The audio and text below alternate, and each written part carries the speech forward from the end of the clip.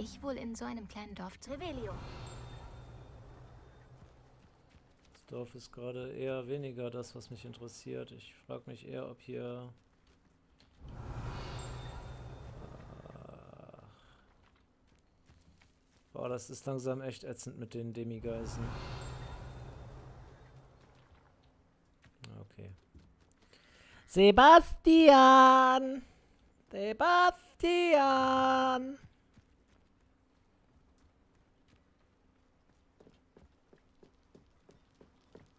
Tag. Du bist hier. Natürlich. Ich bin hier, du bist hier, Schnabeltier. Ich passe auf. Feldcroft ist nicht mehr das, was es mal war. Hm. Niemand fühlt sich hier sicher, seit Ranrocks Anhänger Interesse an dem Schloss dort drüben gezeigt haben. Schloss Rookwood. Mein Onkel Solomon ist ehemaliger Auror und will dem nicht nachgehen, selbst nachdem einer von ihnen Anne verflucht hat. Vielleicht Oh. sogar mit einem Zauberstab. Ich hörte, wie ein Kobold Zauberer als Stabträger bezeichnete.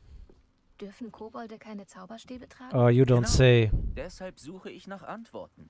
Wenn ich sie heilen will, muss ich verstehen, was mit ihr passiert ist. Anne war immer am frechsten von uns dreien. Und das heißt schon was, wenn man mich und Ominous kennt. Ich hoffe, ein Überraschungsbesuch von mir und einem neuen Freund aus Hogwarts hebt ihre Laune und bringt die alte Anne zurück. Komm, wir gehen zu meinem Onkel. Ah, I've got bad news for you, Sebastian. Die ist verflucht, die Schwester. Und ich befürchte, dass... War mal viel lebendiger. Ja, Jetzt, da Renrocks Leute dauernd umherlaufen, bleiben alle außer Sichtweite. aber mein Dude, ich befürchte, wenn du zu viel über die Flüche erfährst, werden, werden sie da. dich zur dunklen Seite verleiten.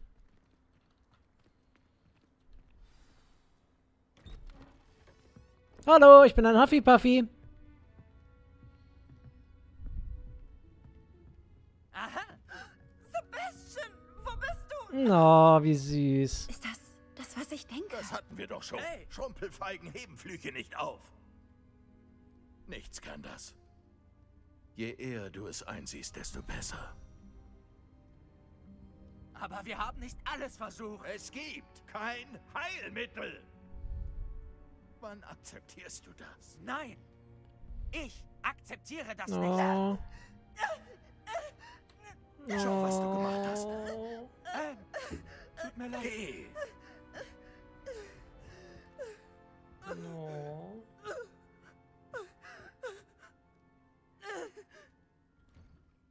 Ich bin übrigens Petal, hi. Tut mir leid, das war unschön. Was geht ab? Wenn's dir nichts ausmacht, ich brauche einen Moment. Ja, aber... Armer Sebastian. Nicht der erhoffte Besuch. Nö.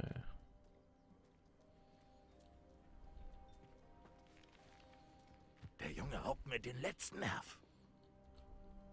Verzeihung, Mr. Sallow. Oh, er, Sebastians Freund. Ich entschuldige mich für meinen Neffen. Er weiß nicht, wann er aufhören soll.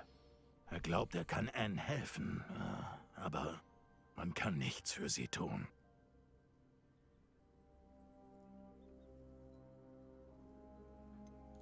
Vielleicht haben Sie das Heilmittel nur noch nicht entdeckt. Ah, sie klingen wie Sebastian. Denken, sie wissen es besser als die Heiler im St. Mungo. Die Heiler wissen vielleicht auch nicht alles, Sir. Sebastian ist fest entschlossen, seine Schwester zu retten. Ist so. Wenn es ein Heilmittel gibt, dann wird er es finden. Ihr Vertrauen in Sebastian ist unangebracht. Irgendeine schwarze Magie hat Anne verflucht. Und die Kobolde werden sich bestimmt so schnell nicht erklären. Ihr Hoffnung zu machen ist grausam. Wir können Anne jetzt nur noch schonen und den Kobolden aus dem Weg gehen. Das stimmt überhaupt nicht. Bei allem Respekt, aber vielleicht täte Anne etwas Hoffnung gut. Echt Sie meinen es gut, aber ich weiß, was das Beste für Anne ist und für Sebastian. Sie kommen ganz nach meinem sturen Bruder, besonders Sebastian. Wenn Sie wirklich helfen wollen, dann sorgen Sie dafür, dass Sebastian tut, was er tun sollte, nicht was er will. Er hat keine Ahnung, welchen Schaden er anrichten kann. Denken Sie an meine Worte. Schönen Tag noch. Ach, Mr. Auror. Ja gut, äh, er, er will halt, dass die Kinder sich nicht mit äh, schwarzer Magie beschäftigen.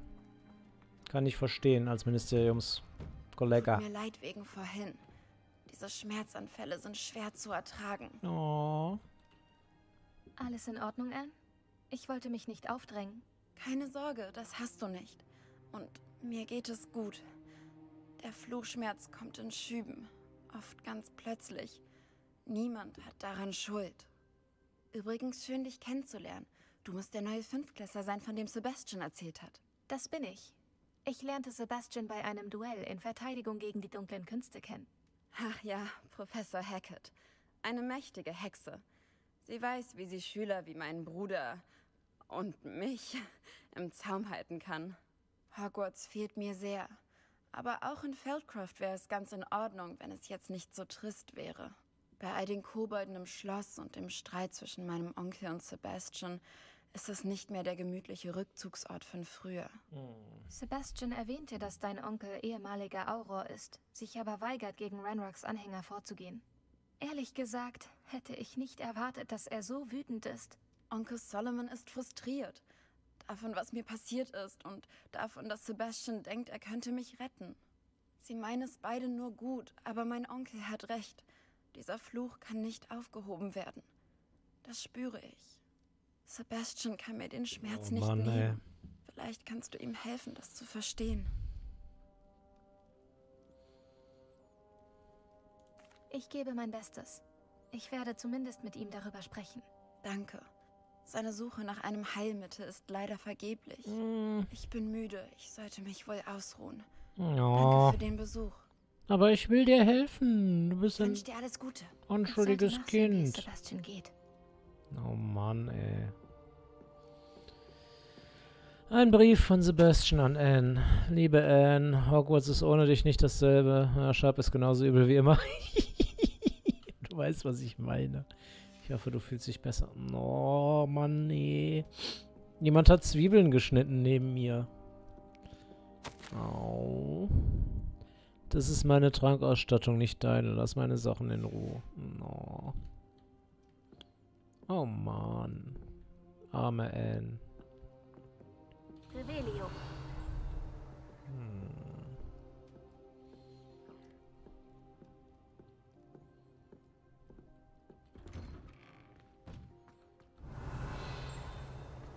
Warum habe ich hier vier Gegner gesehen? Ach lol, hier sind so Statuen zum Üben. Ja witzig.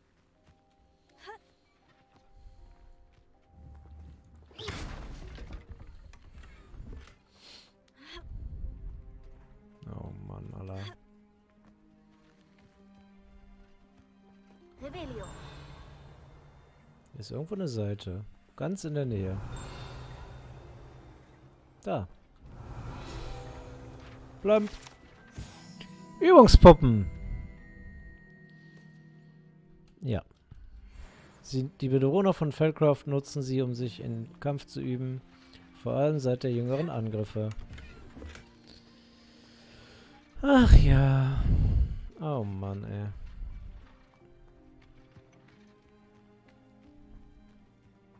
Warum hört er nicht auf mich?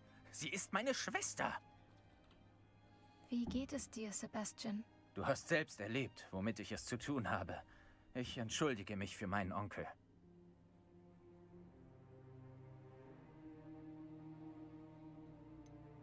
Ich weiß, dass er wütend ist. Aber er möchte doch auch bloß das Beste für Anne. Er ist immer wütend. Und zwar seit meine Eltern gestorben sind. Hm. Nachdem Anne verletzt wurde, wurde er noch schlimmer. Als gäbe er mir die Schuld. Er nennt mich immer den Sohn meines Vaters. Wie eine Beleidigung. Hm. Ich versuche ihr zu helfen. Er hat einfach aufgegeben. Anne und dein Onkel scheinen davon überzeugt zu sein, dass man nichts mehr für sie tun kann. Ich weigere mich, das zu glauben. Annes Schmerz ist mehr als nur körperlich. Er hat sie völlig verändert. Mir fehlt meine Schwester. Und ich werde sie zurückholen. Komm, ich will dir zeigen, wo es passiert ist. Ranrocks Anhänger sind zu viel mehr fähig, als die Leute denken. Ja, Wir ich sollten weiß. sie nicht unterschätzen. Ja, das sind halt Schwarzmagier. Das Problem, was ich sehe, Der ist. Schutt, den du siehst, stammt von dem Geschehen auf dem verlassenen Anwesen. Sie haben nach etwas gegraben. Ja. Ähm, du solltest dich nicht so sehr mit der. Also, ich sehe da so ein bisschen Anakin Skywalker, weißt du? Auf dem Plateau. haben sie Anne verflucht. Der wollte ja auch nur das Leben seiner Geliebten retten und Hier ist dann dann. zur dunklen Seite gewechselt, so. Oder wurde von der dunklen Seite verführt. Weil der Imperator ihm erzählt hat, äh, ja, pff, Sis können halt den Tod verhindern, so bla. Wie lange sollen wir noch in diesem Schutt herumwühlen? Ranrock weiß, was er tut. Es ist eine Ehre mitzuwirken. Nur ein toter Zauberer ist ein guter Zauberer. Bring mir- Incendio. Bring mir ein Dutzend Menschen zum Kämpfen. Die erledige ich alle. Incendio. Hast du zu sterben? Confringo! Das bist du ja.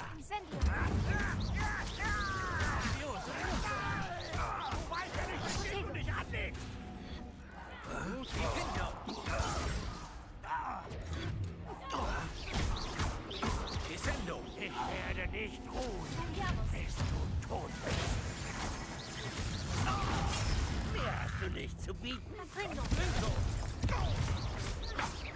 Damit kommst du nicht davon. Was, was geht hier vor? Accio. Incendio. Das war dein letzter Fehler. Ja, geht, ne? Du wirst leiden. Ja, nö, alles gut. Au. Alter, au! Fuck! Jetzt aber.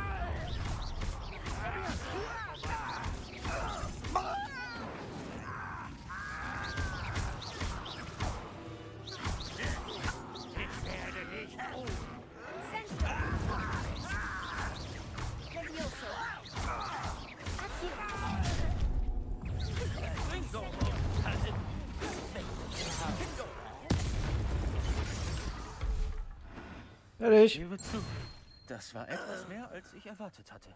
Ich wollte dich warnen. Wieso? Ich habe das doch unter dem Zeitlimit geschafft. Alles gut. Revelio.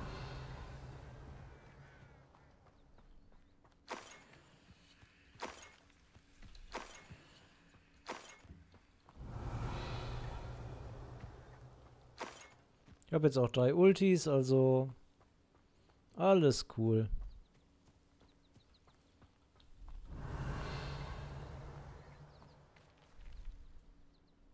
Diese Anhänger haben das verdient.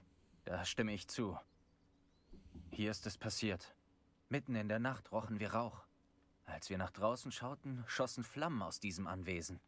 Bevor mein Onkel und ich etwas tun konnten, rannte Anne zum Feuer, besorgt, jemand könnte verletzt sein. Sie sah sich einer Horde von Kobolden gegenüber, die verzweifelt versuchten, die Flammen zu löschen. Plötzlich ertönte eine eisige Stimme aus dem Rauch. Kinder sollte man sehen und nicht hören. Dann eine blendende Explosion. Sie gaben ihr nicht mal die Chance zu fliehen.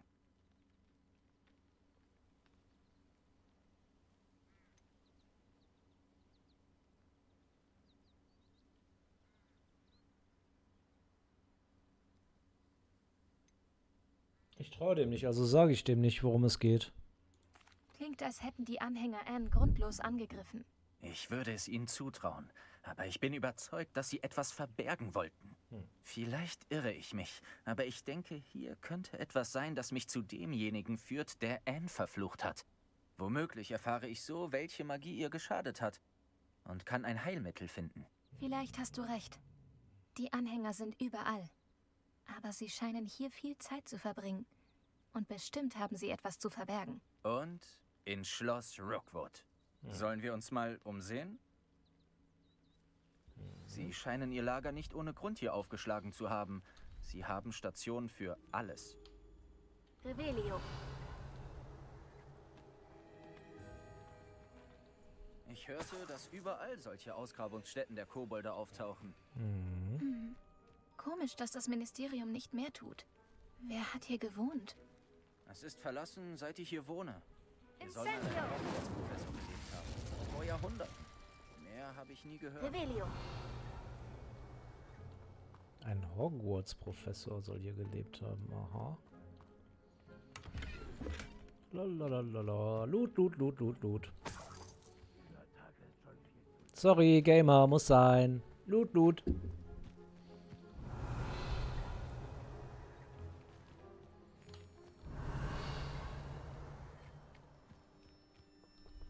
Ranrocks Anhänger.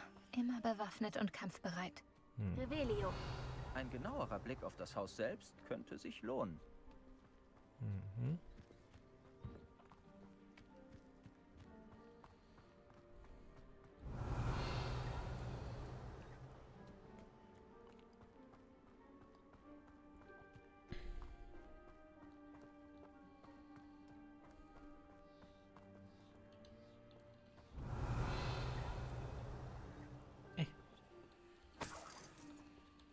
Sebastian, hier drüben. Glaubst du, das wurde damals, als Anne verflucht wurde, im Feuer beschädigt? Könnte sein. Aber für mich sieht es nach Vorsatz aus. Revelio. Ich trau dir nicht, Dude. Du lässt dich von der dunklen Seite verleiten. Der Brunnen kommt mir bekannt vor. Sebastian, das habe ich schon mal gesehen. Das Haus, den Brunnen, den Ausblick. Was meinst du? Wann? Gib mir einen Moment. Ich erkläre es gleich. Das ist die Erinnerung, ne? Hier war die Dürre, ne? Und dann wurde das repariert. Mit alter Magie. Sebastian, dieses Haus gehörte einer Hogwarts-Professorin. Vor hunderten von Jahren. Wem? Was meinst du? An diesem Tag fand ich ein Denkarium in der verbotenen Nee. Abteilung. Die Erinnerung Nicht verraten. Haus. Da war ein kleines Mädchen und eine Dürre. Die Hüter haben mir auch andere Erinnerungen. Nicht die. Hüter erwähnen, bist du verrückt? Mädchen war eine Pettel! Professorin in Hogwarts. Ihr Name war Isadora Morganach. Sie war ein Mitglied der Hüter. Hüter. Wie beim Quidditch. Ja, genau, wie beim Quidditch. Und du hast ein Denkarium in der Bibliothek gefunden? Ich kann nicht mehr folgen. Wie beim Quidditch, ist genau. alles ganz schön viel, hm? Ich bin mir nicht mal sicher, ob ich alles verstanden habe. Und Pettel, halt das Maul! Quidditch. Alter! Ich trau dem nicht. Wissen beschützen. Und es hat mit dem Gewölbe in Gringotts zu tun. Oh, Habe ich das richtig verstanden? Ranrock und Rookwood sind hinter dir her, weil du etwas bei Gringotts gefunden hast, wo du per Portschlüssel gelandet bist. ja, Und jetzt siehst du Erinnerungen, die Hüter hinterlassen haben? ja, Oh, verdammt. Dieses Haus gehörte einem Hogwarts-Professor, der vor hunderten von Jahren einer dieser Nicht-Quidditch-Hüter war. Ja, Würde ich dich nicht kennen, würde ich denken, du machst Witze. Ganz schön viel, wenn man es so betrachtet, oder? Auf jeden Fall haben wir beide einen guten Grund, dieses Haus zu durchsuchen. Du suchst Antworten auf das, was mit Anne passiert ist, und ich suche Antworten zu den Hütern. Sieh dir das an. verrat doch nicht alles, hat das hier mit Absicht aufgehäuft. Ob es etwas blockieren soll? Wir finden es nur auf eine Weise raus. Also,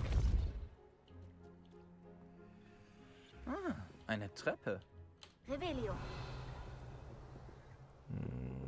Warum verrätst du dem Sebastian alles, Alter? Ich trau dem nicht. Der will zur dunklen Seite der Macht. Warum eine Treppe blockieren? Vielleicht gibt es hier etwas Interessantes. Sie haben das alles hier einfach liegen lassen. Sie sind hinter Thomas. etwas Größerem her. Isadora Morganax Tagebucheintrag 2 von 7. Ich bin hierher gekommen, um zu lernen, aber jetzt will ich helfen. Mein innerer Konflikt wird täglich schärfer. Es fühlt sich an, als wollte meine Magie heilen und helfen, aber ich fürchte, sie gewaltsam daran zu hindern. Nee, es fühlt sich an, als wollte die Magie helfen, aber ich würde sie gewaltsam daran hindern. Soll ich alle Hoffnung fahren lassen, werde ich dann nicht ewig bereuen, nicht mehr getan zu haben. Ich kann ihnen nicht in die Augen sehen und dabei doch zugleich wissen, dass ich ihren Herzschmerzen lindern könnte. Ich habe heute gesehen, dass der Mann, der mich so an meinen Vater erinnerte, das Lager verlassen hat. Sicher kann nichts schiefgehen, wenn ich ihm helfe, oder? Ich könnte meine Untersuchung fortführen, sicherlich, aber das wäre ja nur ein glücklicher Nebeneffekt davon, mit dieser Fähigkeit Gutes zu tun. Diese Tagebucheinträge stammen offenbar von Isidoras Reisen. Hm.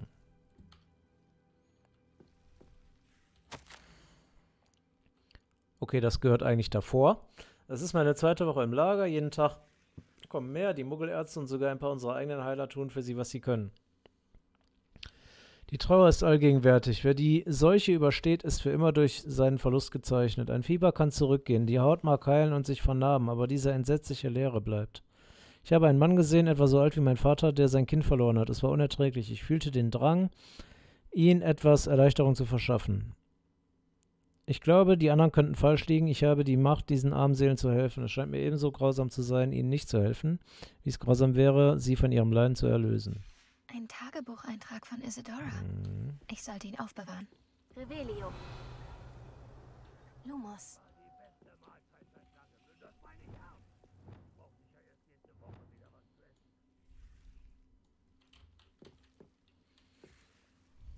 Achtung. Okay. Lumos. Hm. Revelio. Confringo. Whoops. Revelio. Hier muss doch noch mehr geben. Confringo. Lumos.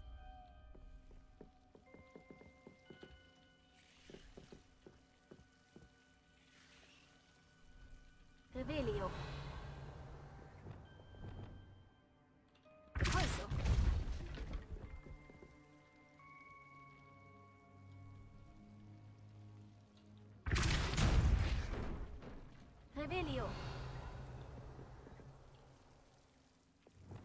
Lumos.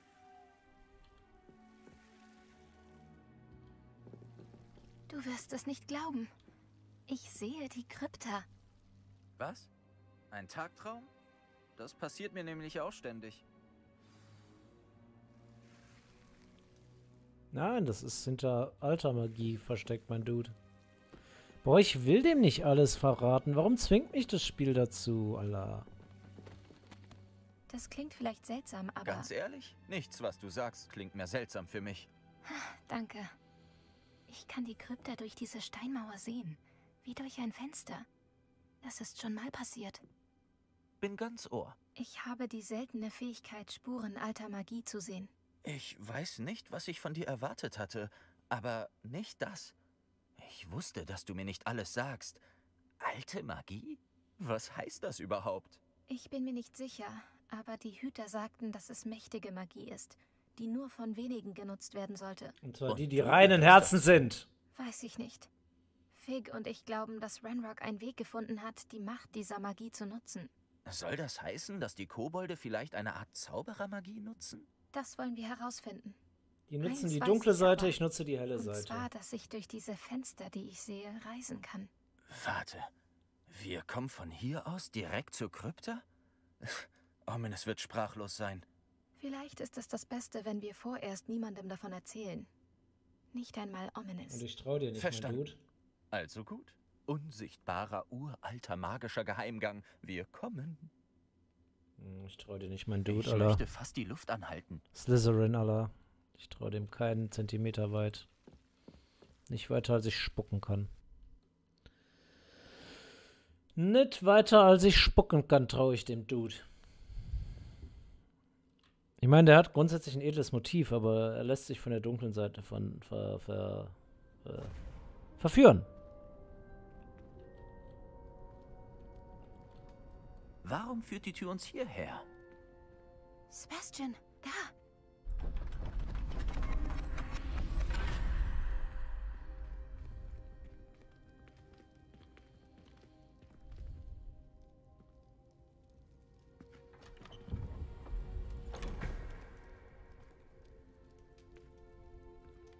Hüterporträt, oder? Also, Teil einer Karte. Ein Triptychon? Hier? Sieht was aus, für ein Ding? als würde etwas fehlen. Eine Notiz? Schauen wir mal. Runendarstellung. Feuer, Feuer. Das sind diese Feuerschlösser. Was hilfreich ist in der Nachricht? Ein Runensymbol. Bei den Hütern habe ich ähnliche Symbole gesehen. Ich habe nachgedacht. In dem Haus lebte vor Jahrhunderten ein Hüter und Ranrock und seine Bande haben dort gesucht. Du hast gesagt, dass Kobolde eine Form dieser alten Magie ausüben könnten. Glaubst du, Anne wurde davon verflucht? Das kann ich nicht mit Sicherheit sagen, aber ich glaube nicht. Ich konnte keine Spuren bei deiner Schwester entdecken. Hm. Na gut. Aber das heißt nicht, dass es keine alte Magie ist.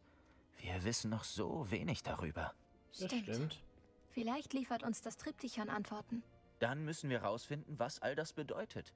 Aber jetzt muss ich erstmal zu Ominous. Ich trau dir nicht, mein Sorge, Dude. ich sag ihm nichts. Ich trau dir Habe nicht. ich schon erwähnt, dass Salazar Slytherin hier in Hogwarts anscheinend ein geheimes Skriptorium hatte? Hast du nicht? Klingt aber interessant. Irgendeine Ahnung, wo es sein könnte? Nein, Ominous hat es eben erfahren. Ich werde dir sagen, was ich rausfinde. Ich hatte keine Ahnung, zu was unser Besuch bei Anne führen würde. Ich bin ganz durcheinander.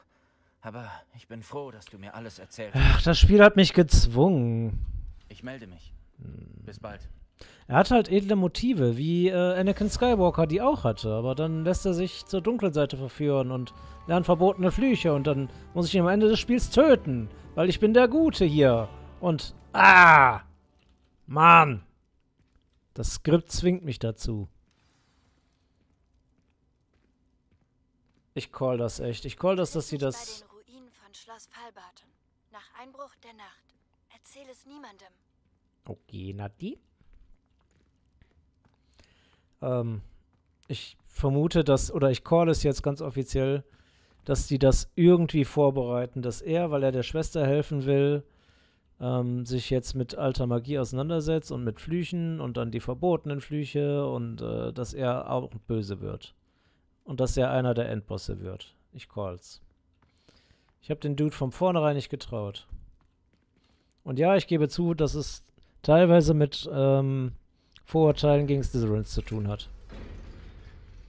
Aber ich traue dem, dem, dem Boy nicht.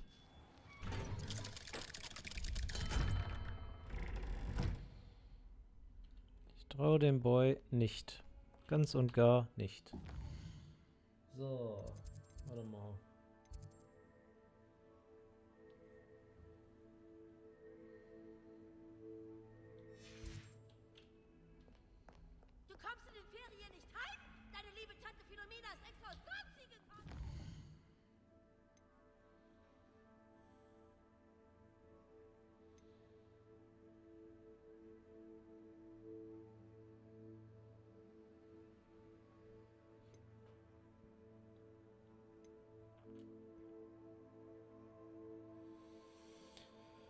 Ach ja, ich begebe mich mal Richtung Moon.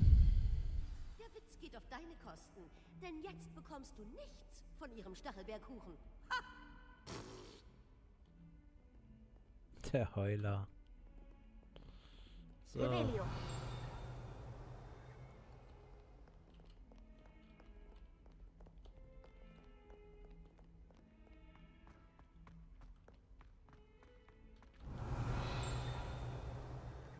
Könnte auch gleich von Jarvis umgeben sein. Hallo, Homora.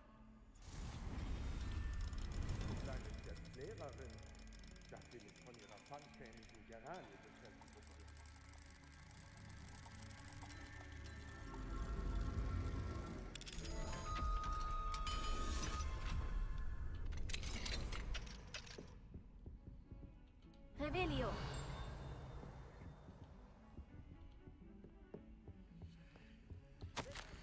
Achtung! Ich wurde darüber in Kenntnis gesetzt, dass verschiedene Mitglieder des Kollegiums eine soziale Zusammenkunft planen. Oh no! Eine Party in meinem Haus! Ich habe keine prinzipiellen Einwände dagegen und überlasse es jenen, die sich so sehr nach Geselligkeit sehnen, sicherzustellen, dass derartige Aktivitäten nicht in die Schulzeit fallen und nichts dabei geschieht, das meine Konzentration stören könnte. Ich erwarte am Tag der Veranstaltung beschäftigt zu sein. Werde jedoch die Einladung bei Erhalt wohlwollend prüfen. Mir ist bewusst, dass meine Abwesenheit das Ereignis negativ beeinträchtigen würde. Eine halbe Stunde sollte genügen. Bitte beachten Sie, dass Musik jeder Art untersagt ist. Phineas Nigelius Black. Ich bitte von der Verköstigung mit Süßspeisen abzusehen, da diese herumstreunende Ratten oder Kniesel anlocken könnten. Ich bitte weiter darum, die Teilnehmerzahl bei der Veranstaltung auf vier zu begrenzen. Dieser Dude, da. Ist das sein Büro von dem Black? Man weiß es nicht. Man weiß es nicht. Aber hier ist auf jeden Fall ein Äffchen, das will ich mitgehen lassen.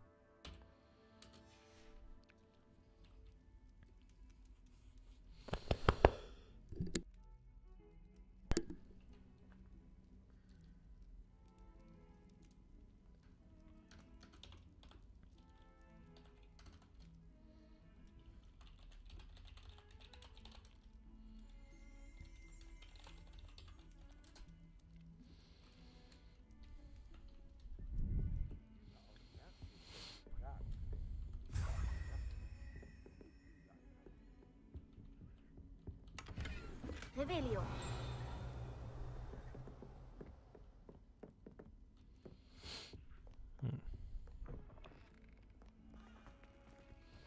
Das ist doch hier der Astronomieflügel, oder?